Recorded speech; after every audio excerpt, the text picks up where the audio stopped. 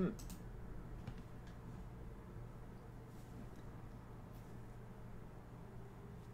Level.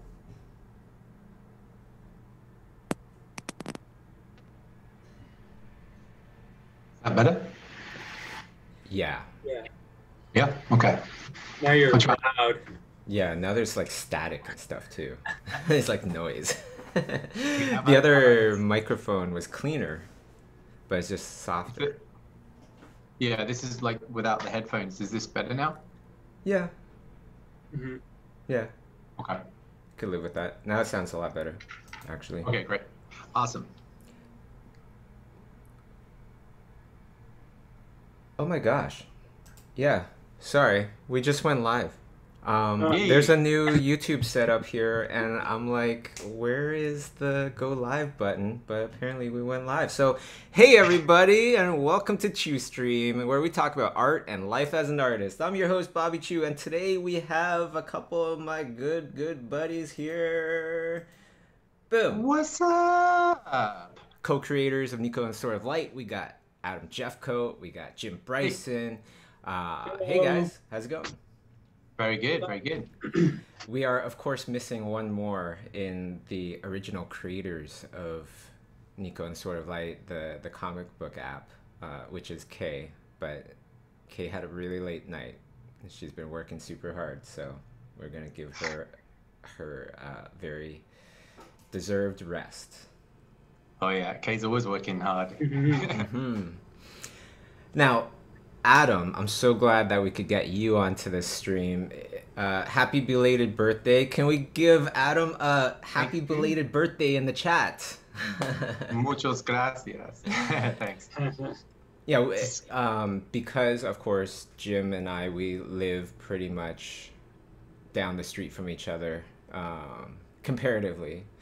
Uh, I got to- what's that? Compared to England, yeah. Yeah, totally. That's what I mean. Um, so I, so I got Jim to spend some time with me and do a sketch, and that's what you're looking at now, uh, Adam. This is Yeah, actually Jim is drawing it, and you can see that as he's drawing it, somebody else is painting it. I'm at that. painting it at the exact same time. We won't get Oh, into exactly what this is uh, until all will be revealed at Lightbox Expo, Mm. happening September 11th to 13th. Damn. But um, Top secret technology here. This is very. Uh, it'll be fun. It's going to be so much fun, and we'll be able to was a lot do collaborations the world has never seen before. Like I've never been able to paint and draw with uh, Jim before. Yeah, that's nuts. Yeah. Mhm. Um, so, what should we talk? You know, wow. I just had this awesome idea, uh, awesome shitty idea. Look at this lighting. It looks like I have pectoral muscles, doesn't it? Yeah. That, I thought you set it up like that on purpose to No, emphasize. no. That's. What if you designed shirts that had a crease in the middle? That's my shitty like, idea. Bobby, There you're looking ripped today, man. I know, right? Yeah. anyhow, anyhow. They should they should have zoom foregrounds so that you just fix this. Oh yeah, yeah. A, a, like a green screen for your face and Yeah. body. Yeah, that'd be fix more of sweet. That part. You know what? That makes total sense. You know, like those Instagram filters and such, hmm hmm right? The buff filter. Like an Instagram filter for Zoom. Yeah, For like your instead video of like a cartoon rabbit face, you get like a, you know, like a supermodel face. That would be so funny. That would be so That would be funny. weird. We don't need that, right? We're we're we're, we're all like uh, su- we're all supermodels anyway. Yeah, it's a good thing we're There you go. super hot. So, uh, what should we talk about here? The Emmys.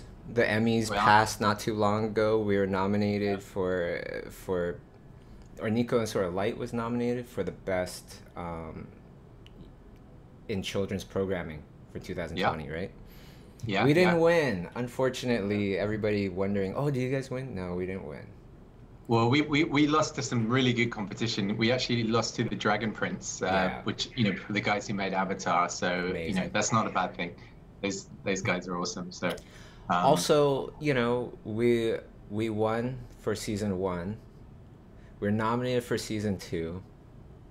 You know, there's no shame in that. That's for sure. yeah, actually, when I when I actually went back and looked, we we'd been nominated for eleven times from for Niko from the Emmys and the Annies. So and won won one. So that's actually a pretty good achievement.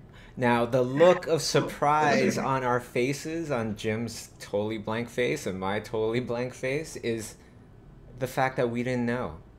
You know, like, it's funny because, like, none of us went to the first Emmys. Yeah. And then yeah. the second Emmys, again, none of us showed up virtually.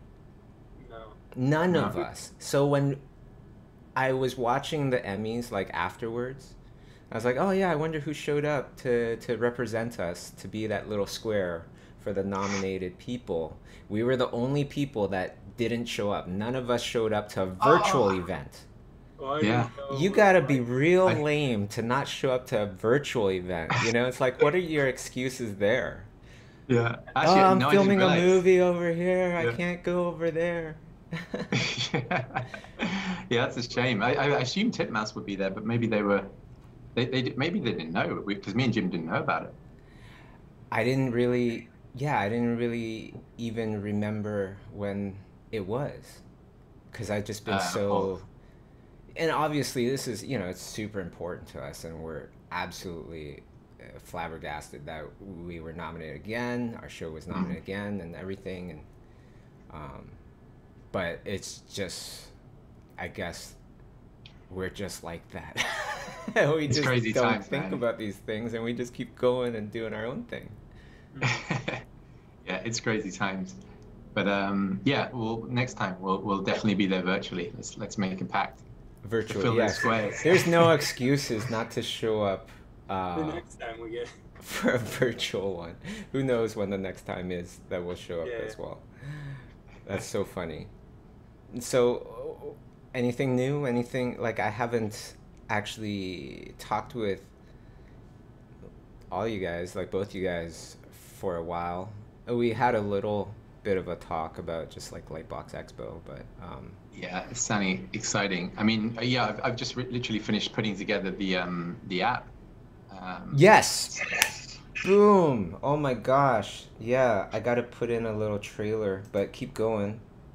Oh yeah, you got the trailer as well. Nice. Well, yeah, Um, let yes. everybody know about the app. Totally. So basically, like, yeah. So, so for all those who don't know, so we we actually released the the this whole journey started out with an animated comic book, right? So, um, Bobby pitched us this idea back in 2013, 2012, I think, um, when the iPad first came out, and was like, man, you know, this with this iPad, we could bring our comic books to life. So that's how Niko essentially was born, and um, it took us two years to put together this app. But at the time, um, we literally designed it for uh, iPads because it fitted that that's you know that big screen perfectly. It was kind of like a comic book size anyway. And um, then you know the show ended up getting picked up by um, uh, Amazon, and you know we kind of then moved on to working on the series. And we never we never really thought too much about it, but a lot of people were like, we never actually got to watch that because you know we never had an iPad. So you know we, we saw all you guys posting all this cool artwork, but no one actually got to actually enjoy the uh, the comic. So I suddenly realized I could take all the the you know the old footage we had, upgrade it to HD, and actually re-release it for phones. Um, so we spent the last I think like six months basically putting that together um, with a with a program over here, and we are basically going live today. So that's one of the things we wanted to announce to everyone. And it's free. And it's free. Yeah, uh, details in the description of the video. Download it, please, and give us a good rating. Let everybody know this is a free app. This is also, you know, part of it being free is everybody's cooped up inside. They got nothing to do. We hope to put a bunch of smiles on people's faces. So please spread the word. This is a free app out there. Okay? And uh, let's play a little trailer, shall we? Awesome.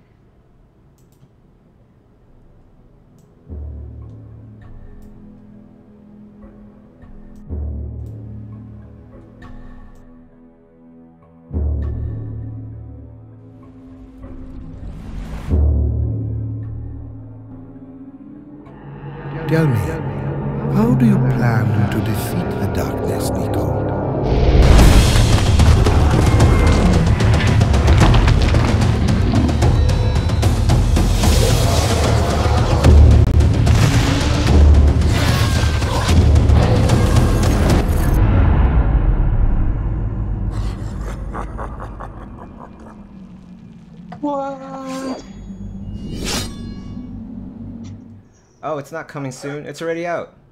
It's already out. Yeah. Yeah. I yeah. must have played a uh, earlier it- it- version yeah, it's, a, it's it's basically available on the App Store. So anyone who has um, iPhone or you know um, app, you know Apple tablets, you can go and find that right now and follow that link. And uh, yeah, like download it for free and, and let us know what you think. Yeah, and hopefully it will it also inspire some people out there to, you know, go and create their own content too. Because this was Yeah. really, this is made with a bunch of people that have, that really didn't have very many resources, right? Like anybody can make an app, anybody can make an iBook, whatever, and put it out there. Yeah, actually, that even i was going to mention. So the the program that the coder that I work with, he's another guy called Adam uh, over here in the UK, and he the program he used to put that together with, he actually is is thinking about releasing that for free as well. So then people can basically take that software and make their own animated comic and get out onto phones and tablets, which would be super cool. So yeah, if this app does well, then we can we can uh, we can get into to work on that next. Well, yeah, let me know and oh. I'll share about it. Um, Yeah. Also, just before we get a little too far, I know a lot of people must have questions, and I want to give everybody the opportunity to ask uh, any questions, especially about pitching, about you know creating your own show, things like that.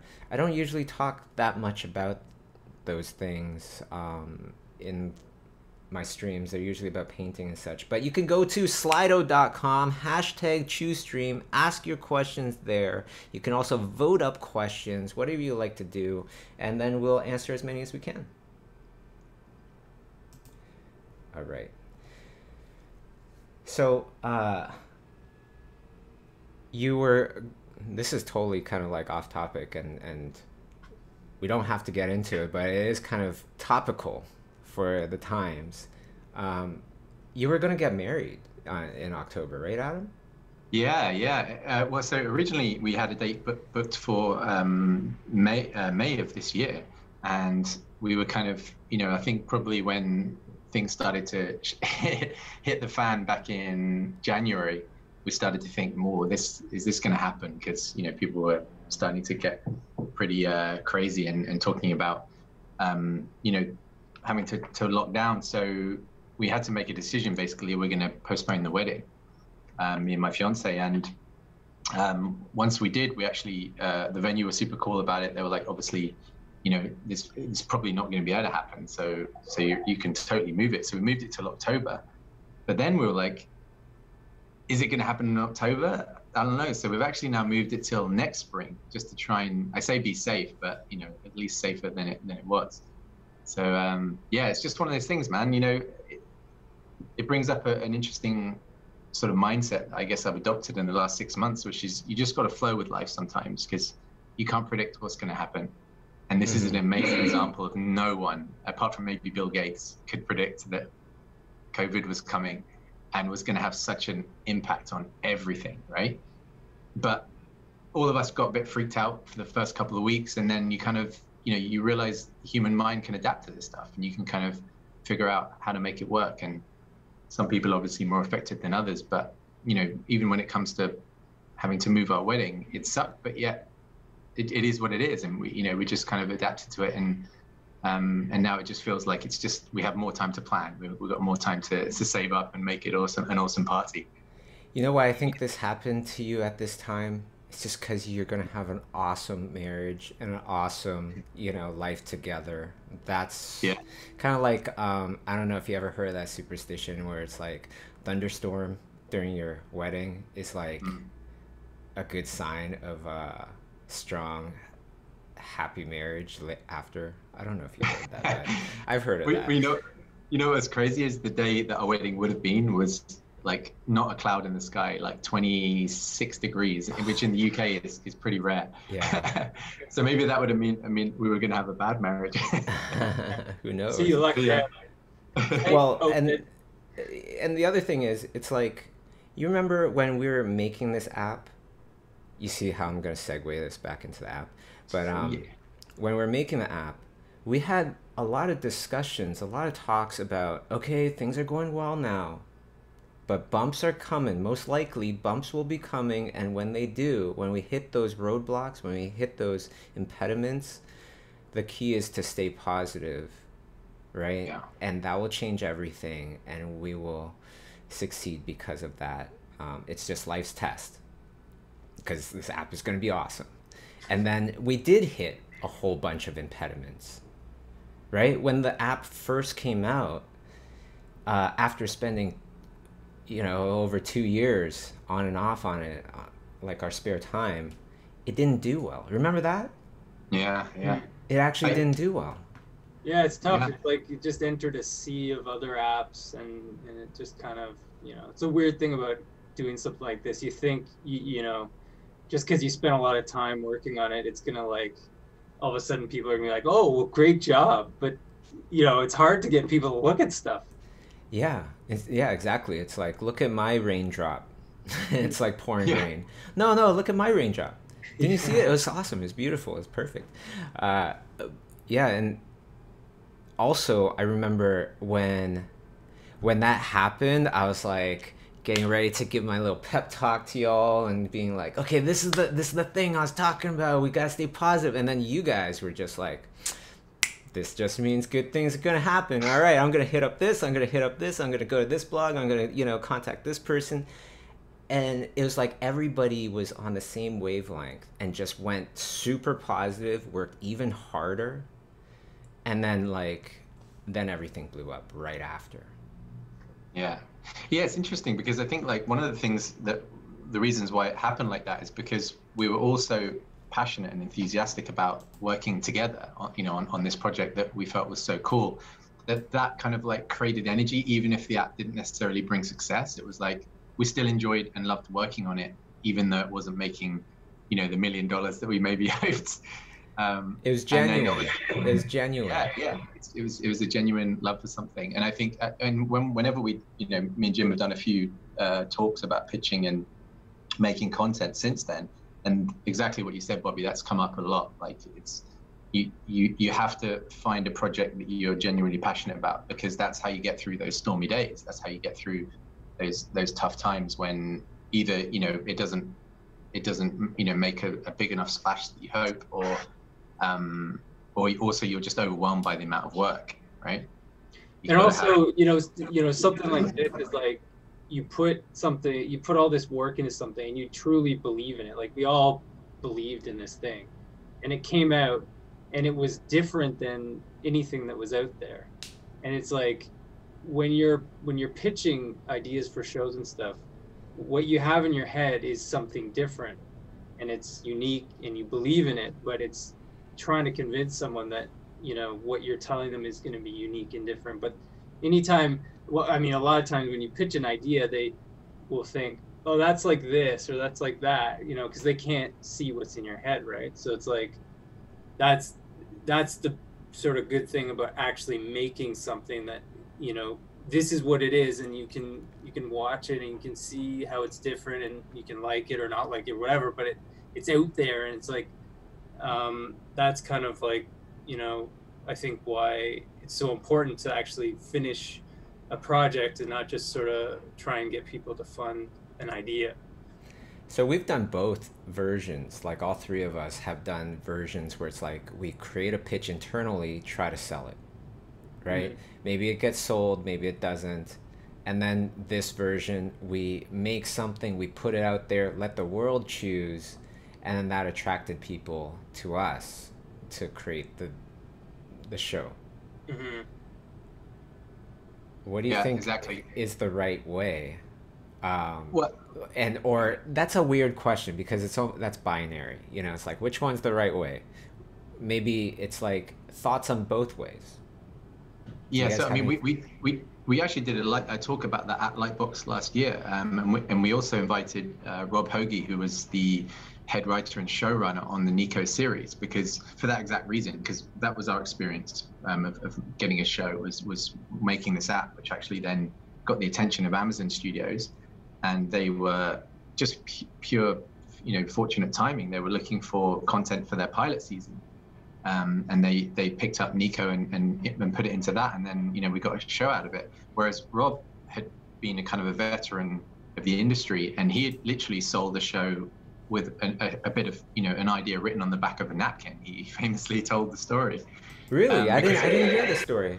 Yeah, yeah, like because so, he was he's a salesman, right? Like he, he's a, he's a writer, but he's able he's got that gift of, of selling, and, and he was able to go into a room and just paint this you know this vision just with words and and, and convince these people um, you know of, of his idea and um, you know with with ex- the experience and the pedigree he had you know they, they were into it so it was great to have the two sides there because from me and Jim had actually, like you say, Bobby, and you and you guys as well, had been pitching for several years before we made Niko, and had come against those issues where we would leave the meeting and we just knew that the people that we had pitched to weren't seeing in their imagination the way the way we were seeing our ideas.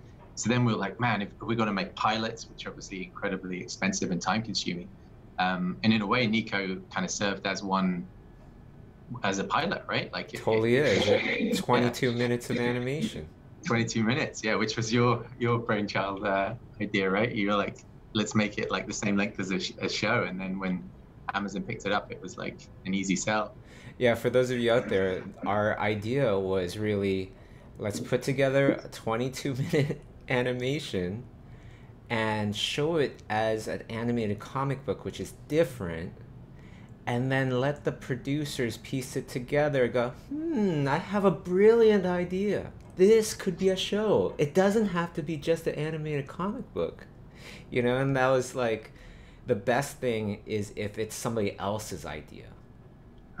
Right? If it's their idea and they start champion, championing it as opposed to you spoon feeding them and going here's a good idea for a show yeah. right? When they came up with it, then they're going to be a lot more behind it.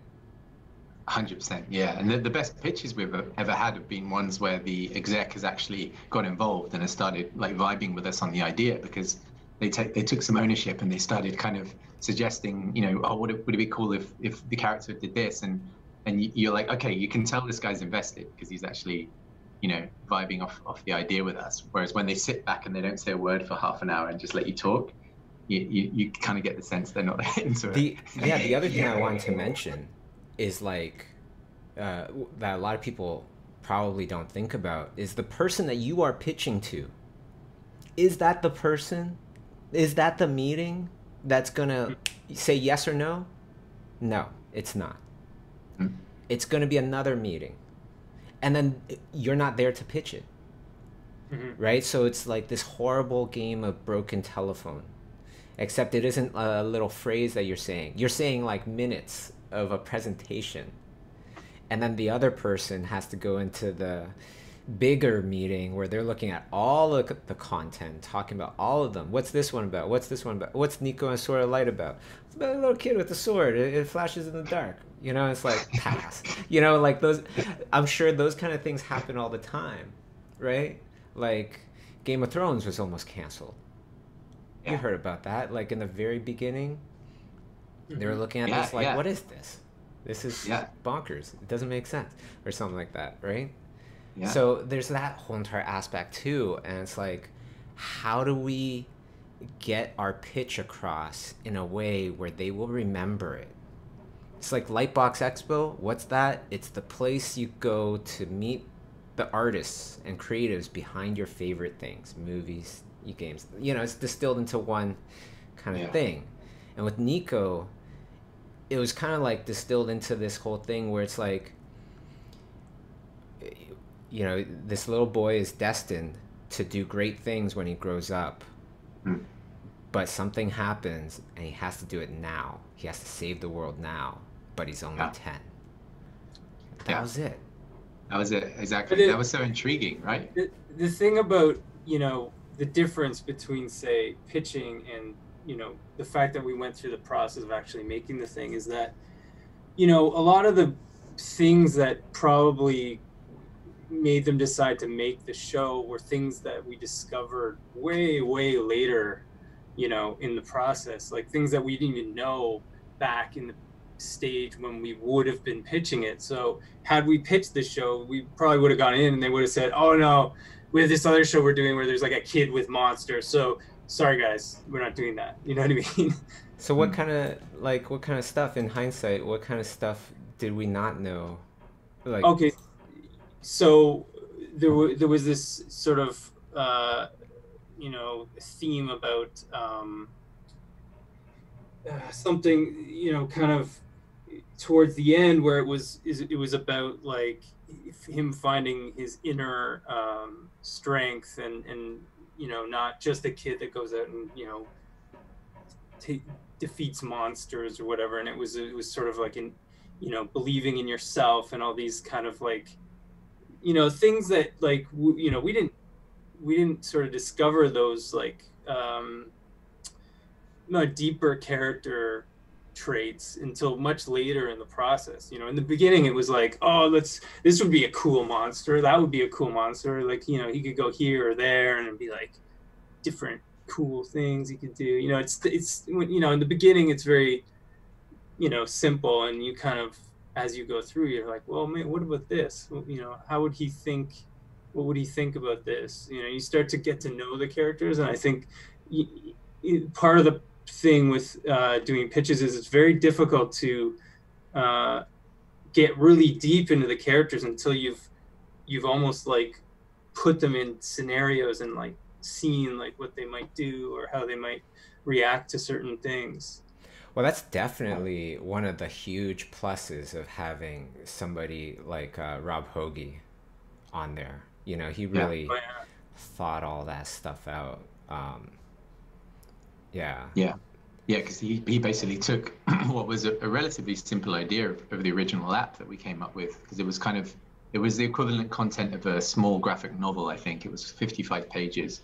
So he basically took that story um, and expanded it into the whole you know universe with like bad guys and, and the princess lyra to guide him and all these sidekicks and um, you know different hierarchies of, of, of, evil going all the way up to lord narest who was kind of representing and then even above him was like this dark force that was kind of controlling him so um, yeah that's exactly it that's where where a, experienced screenwriter can come in and you know take what we had, which which was relatively simple, like Jim was saying, and then just kind of expand it into something that would would fill you know two seasons worth. Yeah, and uh, of course Rob, he's going to be at Lightbox Expo, so you could come see him there. You guys are going to be doing something together with them. Hopefully, I can join in. Yeah, yeah, that'd be pretty be fun. fun. We'll release some details about that. Hmm. Um. And Lightbox Expo tickets registration happens starts on August 24th. So get ready, everybody. Now we have a bunch of questions. I'd love to get to some of these questions. Of course, if you have questions, if you have your own questions and you want us to, you know, answer them live on the stream, you could go to slido.com, hashtag ChiuStream. You don't have to log in. You could just write your question anonymous, or you can, you know, write your name and I'll say, oh, this is Kells. So I'll go to Kells first, and Kells says, uh, in a world of animate or Instagram portfolios, what is a better alternative for making a professional digital portfolio? Love Niko and all you guys do for the art world. Anybody? Anybody? Uh, I don't know. Like it's tough because any any job I've got, like since you know we finished school or whatever, I think the most important thing is to i mean if you go to school or if you have whatever connections you have like pretty much any job i got was through people i knew. Um, so i think it's important to like keep your work up to date and i don't think it matters that much what you use as an online portfolio if it's instagram or if it's i mean i use artstation if you want to make your own website. I mean i think really all that matters is that you keep making new stuff. I mean, what do you guys think? Yeah, I think um, I mean from from the perspective of actually in the past where I've actually hired artists based off their Instagram um, accounts. Um, one of the things I realized is that when you know if if, if you're say a, a studio person and you're looking for talent, and you're going to go to Instagram because it's such a great resource, I think for for finding you know art. It's probably the, the best one. That when you're going through um, you know so visual development artists uh, work and stuff like that, you know if you see something you like, you're probably going to save it, and then at some point you might go to the, that person and hire them. But the reason why I think people will stand out on Instagram and why they build a big following is they have a certain consistency to their posts and their style. So, for example, one of the things we were told at school is that it's really good to be able to draw in any style, right? But yet, if you go to an Instagram account where that yeah, I remember that. It's but if you go to an Instagram account where where people are drawing in 20 different styles, it's so kind of inconsistent. You don't really know what that person does, and and you know here they've got like a really flat UPA style, and then they've got like a fully painted style. And it's it's great they can do that, but actually the best Instagram accounts and the ones that to me seem to have the most followers is is extremely consistent, and that's usually a balance between personal work and um, professional work, but always within the same kind of style. And the way that the posts are presented is also important. Like it, you know, it's it's almost like there's an art to the way you present your artwork as well. And if you get that balance right, where you have this beautiful, not just work, but you, your whole, you know, Instagram page looks awesome, that's the thing that grabs the attention amongst the sea of thousands of other artists. And those are the beautiful. Love it. Uh, if you're going to Instagram to hire someone, I think you're going to their Instagram page for their style. If you're yeah. the kind of person that can do many different styles, that's probably the person that you're going to get hired by submitting your portfolio to a studio because you want to get a studio job with someone who can do a range of styles that isn't going to be hired for their style can be hired so that they can do other people's style so it's a different you got to know what you want. Yeah but and and to your point there's different ways to get jobs right? And like you could be the kind of person that's almost like the bones of the studio can do virtually anything environment styles whatever super versatile and they will want to probably keep you there forever. But you, will you be the standout kind of artist in the projects that you work on i have my doubts mm. but at the same time of course you could probably find um, an example, uh, an outlier with everything that we say, even, right? Oh, yeah. You know, like Wouter Tulp. He is a mm. complete chameleon. He can do, you know, from Carter Goodrich to like Impressionist, Sargent to like whatever. He can do the whole gamut of styles. It's amazing. Yeah. Yeah. Yeah, but like yeah, like you say, it's it's you can you, that doesn't hurt your career for sure. I think having the versatility and, and and to be honest, a good artist should be able to draw from Disney all the way down to you know something something very simple like a more graphic, you know, 2D cartoon, um, flat style sort of 2D cartoon. But yeah, I think it's it's going back to what we said earlier. If you focus on what you love and what you're particularly good at, you kind of develop a style that people can see one of your pieces of art and they know who drew it. Then I think you've, you've got it down, like uh, you know Mike Mignola, Bobby Chiu, KS you know, all you guys like, you know, you see your work, and Jim as well. Like when you see your work, it's like very, very distinctive, and it's and and that's what I think people are kind of uh, coming to you for, right? And then you know you you make a name for yourself based off that. You know what I like? I like the whole entire idea of um, really putting your stamp on something. If you create something, a whole new style, whatever, you like it, do it a buttload of like a buttload of times until people really recognize it as yours mm. right put your stamp on it before moving on to something else uh, yeah. that's a really good way i think of like being able to expand on what you do you know because like we think about just fine artists they go through these stages right it's like impressionist, cubist, whatever it is that they're into at that time. Um, yet all of their shows and the pieces and stuff uh, we all related to that one person. Like Picasso goes through, Yeah. you know, the blue period and cubism and plates, you know, things like that. Yeah. Yeah, they that's a great be. example of someone who doesn't have one style. He's known for a certain style when you think of him, but if you look at his work, it's like it goes all over the place. And that is interesting too because it's like for him, it's like, or for certain artists, they go through periods, Mm. right? And you really love that period, but they don't do that anymore.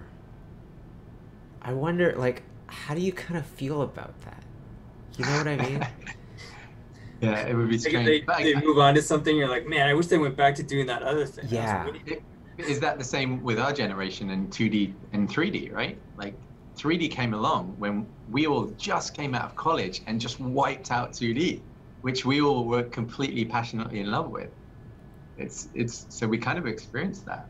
Well, or or just like you know, um, what's a good example? I'm trying to think of a good example. Uh, oh shoot, what's his name? The one that does all the. he- I think he did like Ren and Stimpy backgrounds back Oh, the John. John John Kay? No. No, no. Ham. Um, Bill something. didn't William. His his William like Wray. fine artist name is William whatever, and then he- William Wray. Yes. Ah, yeah. yes. Oh, right, yeah. Right. That's a. I think that's a perfect example. I don't know if he still does the cartoony, beautiful style that he used to do, because like Yeah. so much of his style now is like plein air paintings. But it's like I would love to see him go back to like the I animated stuff. I wonder. I wonder if you know, because that style was was ripped off so much, you know, over the years. I just wonder if he kind of moved on and just was kind of like he wanted to start something new. Just fed up. Hmm. You know, they're bringing that show back, right? I heard there was like backlash. yeah. Yeah. Wait, because it's without John Kay. It's like what? I don't know. I I you know. Uh, you know, I don't think Adam knows about John Kay. Oh yeah, no, no, I no, I'm just saying like that's but you still despite, you know, everything you know that happened, it's it it came from his brain and and to try and redo it with, with something it's very unlikely they can pull it off, I think. I feel like they should have just. I don't know the whole entire story with John Kay, so I won't pretend I do. I, I, I don't know what he did or whatever, but I, I heard it wasn't good. Um, bad reputation. Went to Sheridan, went to our old Mm. college, the Mhm. same college as us. Very different year. We didn't know him. Um, but at the same time, I, I kind of feel like this one should have just kind of been left alone. You know, just let Yeah. it just be there as It's- its original thing and leave it alone. It's, it's interesting, isn't it? Because it's like you, you get why the studios will, will go for something like that. You know, it's, it's Yeah. They, they're like, okay, we release this. Like it's they're, essentially they're they're all kind of like gambling, and they're like, this is a safe bet. You know, we know this got a huge audience, but But like oil companies could be a safe bet. You know what I mean? Yeah, yeah, like yeah, that doesn't mean that we invest in oil companies. Yeah, but it, but the same way, that safe bet can have just as equal backlash. For number one, by getting a huge backlash of fans before you even made the show, which is what's happened in this instance. Mhm. And the second thing, if they don't pull it off, then it was more risky than going for a completely original idea.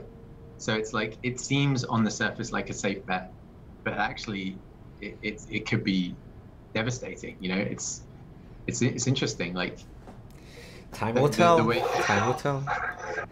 yeah, yeah. The one I'm really interested in coming back is Avatar. Are you guys with Oh me? yeah. Well, what? I didn't know that was didn't even coming know back. it was coming back. Isn't it? I thought I saw it on Netflix or something. Like plans, maybe some announcements. Maybe. I don't Yeah, know. I actually I didn't I didn't see that. And I don't work for Netflix, so I don't know. So you Oh. gotta look it up yourself. But that would be amazing. I thought Yeah, I, that'd be I.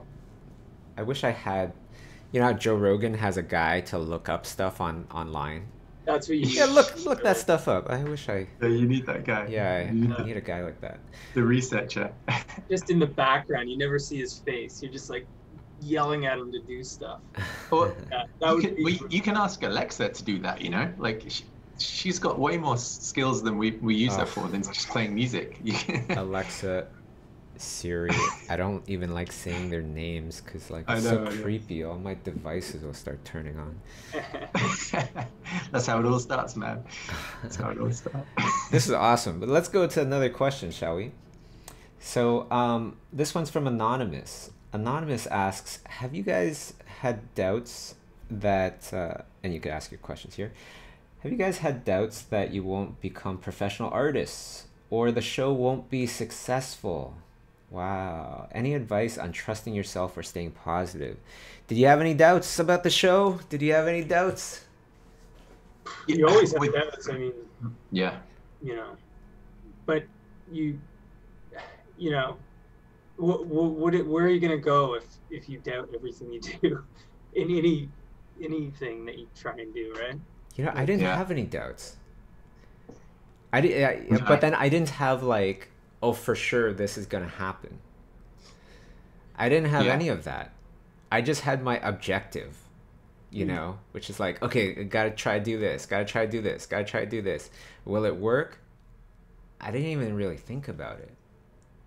Yeah, I think Yeah. in the, like before it comes out, the excitement of like this is gonna be great. You know, it's kind of like uh, it's that feeling you get when you're like building a sandcastle and you're like, I don't know how this is gonna turn out. You don't really think about like the waves coming in and crashing it down before Yeah. you finish it. You're We're just, just thinking it's gonna be so cool when it's done. Totally. What a good energy that you know, and and that actually is kind of interesting because like you see this happen with like the most original content all the time, where like these people they didn't have any idea that it'd blow up to this level. Um, you know, Taika Waititi, and was the uh the vampire show that he Oh, made. what, what we do in the shadows? Yeah, nobody had any idea that that would have its that success, things like Mm. that. It's just like these very genuine reasons, very pure reasons to do whatever show, right? Uh, Yeah. That's so much easier. Or music, it's so much easier in the very beginning, and then there's the pressure, then there's the expectations, then there's all these other things once you maybe touch that ring of success for a second. You know what I mean? And Yeah. do you feel like it's hard to get back to that? To get back to that to that, that mindset of when that you're more innocent, starting out. pure, Yeah. yeah, mindset, right? For me it's like that's all i want to do. Like anything you know like the stuff we're working on nowadays the top secret stuff we can't really talk about but like it you get that feeling like this is something that you know i just I, I have no idea like what's gonna happen when it comes out. I'm not even i don't even care. All i want is the feeling of like whatever i'm working on is kind of different and exciting and um, I don't really know what's going to happen. I don't know how it's going to turn out. Um, kind of an idea, but it's just fun to work on, really. Yeah, I, I have this like analogy which which I was I was talking to someone about the other day. Eh, When I was probably in the early years of Sheridan, if you asked me what my ambition was then, I was like, I want to be a film director, right? I was like, I want to, I'm going to direct films, and I it was no one was going to change my mind. I was like so adamant that was going to happen, um, and whether that kind of happens or not, like you know, I've directed some some shorter stuff, obviously n- no features as yet, but let's just fast forward like five, ten years into the future, right? Let's say um, I get my first movie and I'm like working on the set and I care so much about it wanting to be good that I'm like stressed out, right? Like, you know, every day I'm like, you know, trying to do so much, trying to control so much of the process. And like, you know, you, you got some bad weather coming in, it's affecting the shoot and nothing's going how you want. And like, you know, the actors are like playing up and you, you've, you've created this dream opportunity for yourself, but it just didn't happen how you imagined it in your head because you have this kind of like perfect, you know, scenario that you kind of envision. So now what I what I try and do because you know like like we talked about earlier with COVID, you just don't know what's around the corner. So now what I try and do is focus more on like Jim saying the feeling that you want to get from the job you're doing. So I was like, okay, what do I love? I love working with awesome people. I love working with friends. I love working on projects that you get passionate about and um, you know and working with talent that are going to kind of push and push each other and that's exactly what we did with Niko and it found its way to success because of that and it's i think it's the same thing it's like you focusing too much on an outcome is, is where it gets like tricky but if you focus just on how how you want to feel in the job it, it kind of life sort of opens up for you do you mean like you mean your your dream was to direct live action movie like a live action movie yeah, or a, or a feature animation, anything, right? Uh-huh. Like I, I, originally, I always wanted to direct live action, whereas whereas now I'm like, that's a crazy, crazy job, right? Like going on shoots for like five months at a time in these crazy conditions, you know. It's it's when you actually look at what directors have to go through. Like George Lucas almost had a heart attack. He was in hospital twice during the filming of Star Wars because he cared so much about that movie. And you're like, you know there's there's there's a, a, idea of what it's like and there's the reality and it's like it's for me it's kind of interesting to try and really think about what you want out of life not where you this picture of where you where you kind of uh, you know think you want to go and then when you get there you're like oh i didn't want this i didn't want this when we think about it it's like how long does a uh, animated film take to to come out versus a live action film live action film comes out so much quicker. It's done so much quicker than a than an animated film. So something has to give. And that thing that gives is like timing.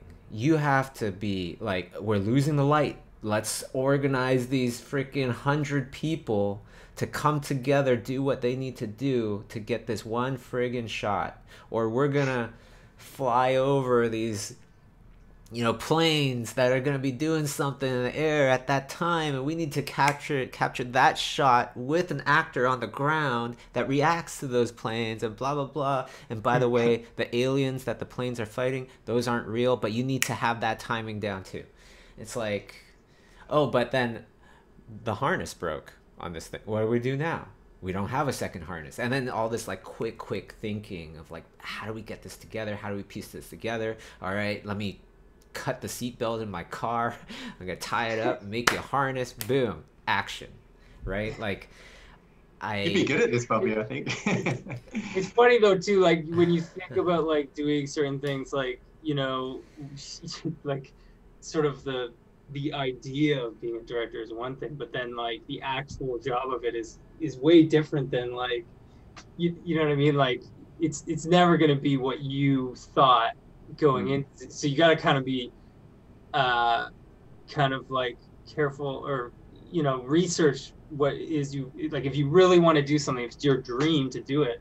I think it's more important to research like what is it like day to day. Is that like even mm-hmm. really something you want to do? Because like I remember my dream coming out of school was to be a character designer, and then I got I got a job as a character designer. I was like, oh man, this is so cool. And then they're gonna be like, Jim, what do you let, us get your take on these characters and like you know it's gonna be so fun. And like I go in there and it's like okay we need you to do like 400 mouse charts.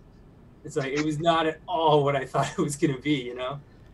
Well you, you just gotta craft it into yeah same kind of thing. I don't like to do turnarounds. I just like to do the fun stuff uh, mm-hmm. of coming up with that idea that affects the movie you know? Mm-hmm. yeah. Um, so I just say no but, yeah. but you did that back in the day, right, Bob? Like back back when you were starting out, you kind of go go. Well, that's the jobs. thing. For me, back in the day when I started, it's not like I was working with people that knew me. Yeah. I was being discovered. Who is this guy? There's not even a picture of him. He's on. Is he's in the ether? He's on.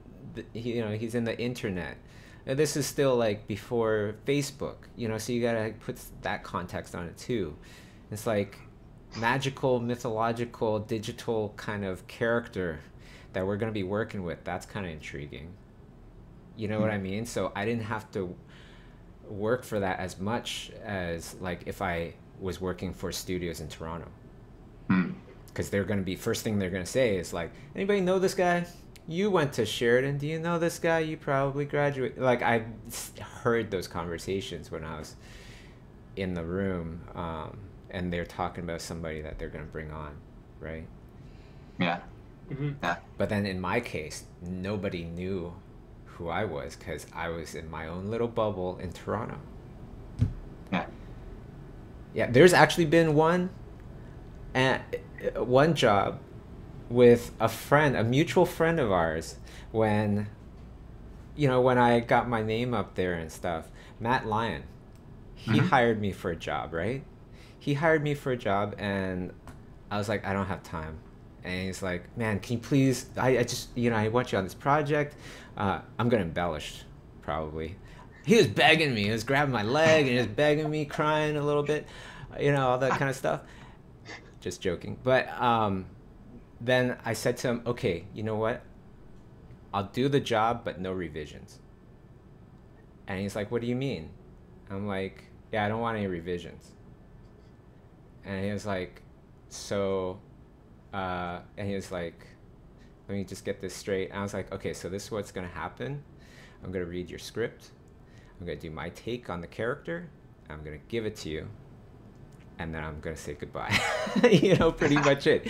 Like, no revisions. And he was like, all right, sure. Let's see what you do. You know? That's right. So not only did I not have to do turnarounds or like expressions, isn't that funny? I didn't Yeah. have to do any. Well, yeah, that's it. You you you were doing exactly that. You were like focusing on what you loved, and and you've done that ever since, right? But of course, you can't start off like that. In the No. beginning, I was the yes man. You, can you do this? Yes, yes, yes. Can you do this as well? Yes, yes, yes. Of course. You know, it's like it didn't matter. Yeah. So you when you can't. when you you, can't have start to off. say no, like when you either don't have enough time or you don't really want to take a job, and they really want you to, it's an interesting scenario, right? Yeah.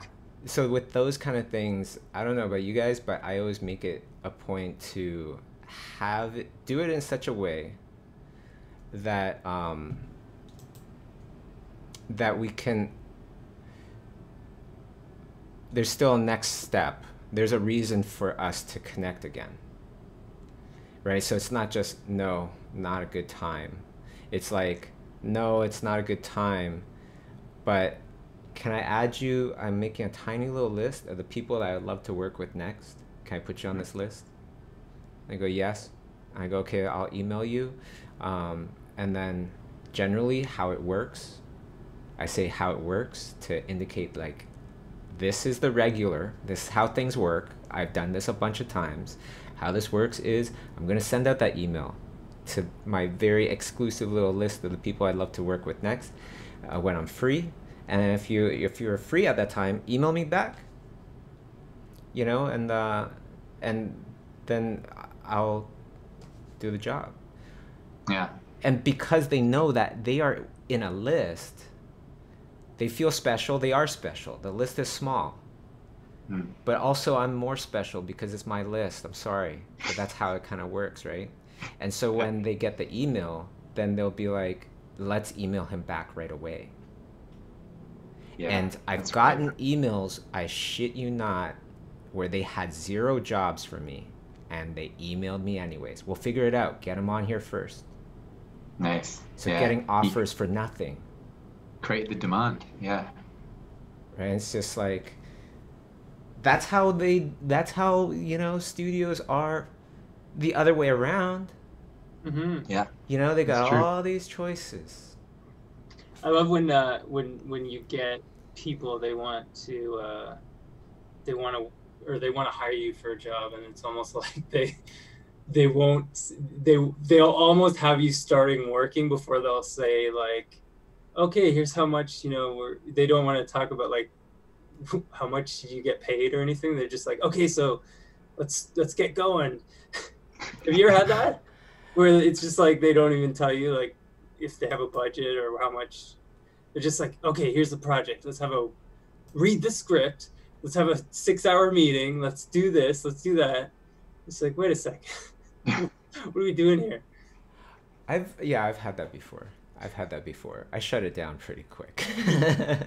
got you. i mean otherwise you're just wasting time and then and then you a lot of the time with those kind of things you'll find out it's like it's like it's an insultingly low Bad amount of budget. money. Yeah. Yeah, I could definitely see that too. And nowadays, if there's any red red flags, I'm out of there so quick. Yeah. There was a job that contacted, and you know, like,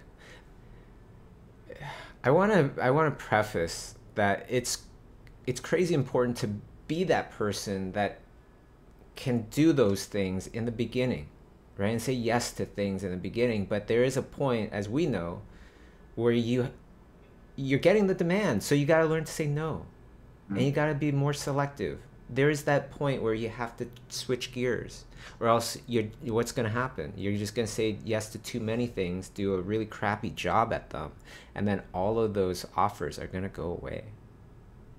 Yeah plus your health can get affected too right? Like oh, you know i've been through definitely been through times where i've taken on so many jobs that i was like not hardly sleeping.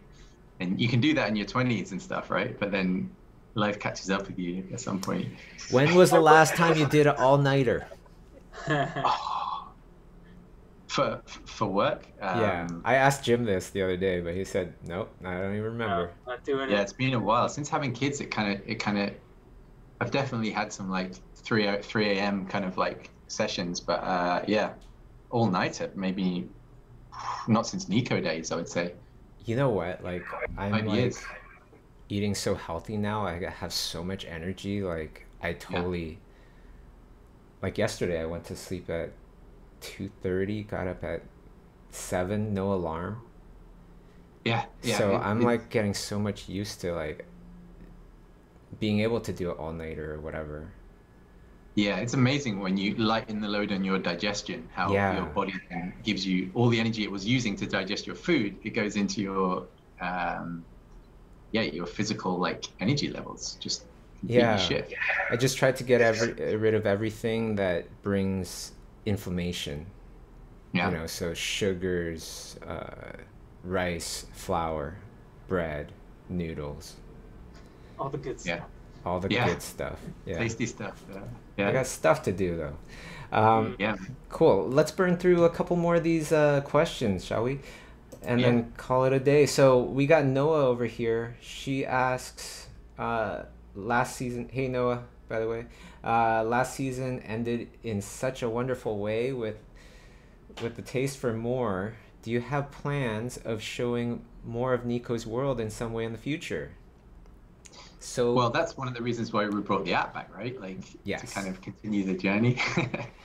yeah, that's and it's cool because like you said once we inked that deal with amazon to create the show we pretty much took the app off uh, yeah. pretty much right after. So not a lot of people have seen this app. Go get it. iphone ipads not android but iphone ipads. Um, and it's for free. Do we have any plans on android? Probably not right uh, yeah, no. In fact, Android is, is is a very straightforward thing to do. Um, provided you know people like the app, then we can we can definitely port to that uh, next Beautiful. step. Yeah, yeah. So, uh, in terms of the show, we can say that you know the show has not been officially canceled, but Amazon is no longer making kids shows. So the show's in a weird kind of limbo, you know and if that changes in the future, we don't know. But for now, you know, we're gonna we're gonna wait and see. yeah, so that part really stinks because I think you you mentioned one time to me that they said that this was one of the more popular shows. Yeah, yeah, yeah. yeah. yeah. Yeah. It's it's just you know they, they, uh, they, they, I think it was just a decision of looking at their main audience and realizing they were all 18 to 35 years old. So they were like, let's make shows for them. Really? oh my god! Stop making kids cartoons. They, no, but they had. Oh, that's such a shame because like they had a bunch of Emmy-winning shows like uh, the Tumble Leaf thingy. I yeah, Tumble Leaf. Uh, the the Road to Oz was it? The Road to Oz, yeah. Wizard of Oz thing. Um, yeah, obviously Niko, and then a couple of other preschool ones. Um, yeah, no, but it's just you know like Jim says, you never know. Someone else comes comes on board and it's like, oh man, you know, we had some good stuff here. Let's revamp it. You never know. Niko might make an appearance. It's a weird. It's a weird thing you never really expect for like a network essentially to just say like we're just not going to make a certain type of show anymore. it's a weird. It's Yeah. strategy, I guess. But again, it all comes back to that unexpected journey, right? That we started Yeah. off talking about. You just you never know what's coming. Yeah, somebody was saying, did you guys ever pitch Niko to Netflix? I think Netflix likely would have green lighted the, a third season. So the thing about that is, um, you know, Amazon spent a lot of money and resources and time to develop with us the show. Hmm. So rightfully so, they do own a part of the show, a nice a nice good chunk of the show. Without their resources, without their everything, uh, that show never would have been a show. Hmm. So it gets a little Yeah. tougher. we can't take the show to Netflix. They're a competitor. It's Yeah. that. Yeah, it's a shame. but although Amazon uh, are actively trying to sell their shows to other um, distributors across across the world, so you know, Broadcasters. yeah, broadcasters, yeah, across across in South America or in Europe. So um, that's definitely a possibility. It could it could have, find a new audience that way. But of course, the real possibility is today, and you can download this app today. So go get it today, right now, uh, because this stream is pretty much done. Uh, I don't want to take up too much of your time, and I got a bunch of stuff to do as well. So, any last um, thoughts? Any last words for the audience? Uh, yeah, I think from, from everything we said, it's it's all, it's all about the journey, right? You got to enjoy the journey, not focus too much on the outcome. And the second thing is, yeah, you guys, uh, we'd love it if you can download and, and rate the app for us. It really help get some more exposure uh, for the Niko app on the App Store. Fantastic. All right. Well, thanks, guys. Thanks, everybody, for tuning in. And uh, we will catch you next time. Peace out. Cool, we're done.